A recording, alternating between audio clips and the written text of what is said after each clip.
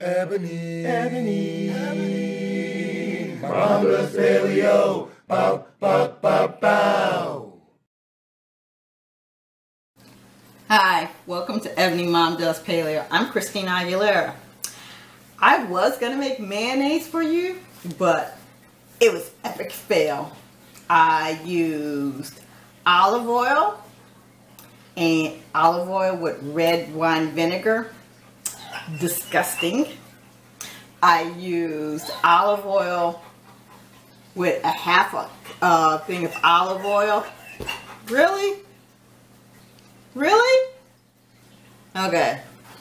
I used olive oil with a half a cup of almond oil and red wine vinegar.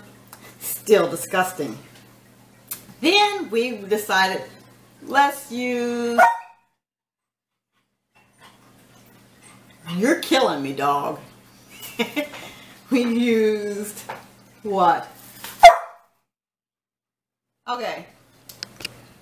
This one is coconut oil, white vinegar, and an egg. It's a mess. I actually got it to come out to look like mayonnaise. This is one egg, lime juice, a tablespoon of lime juice, almond oil and olive oil. You know what I discovered? I don't like it.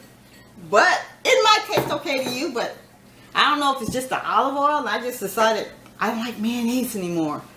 But if you really want mayonnaise, you can try all the things I tried or you can just go online and buy some mayonnaise that is paleo.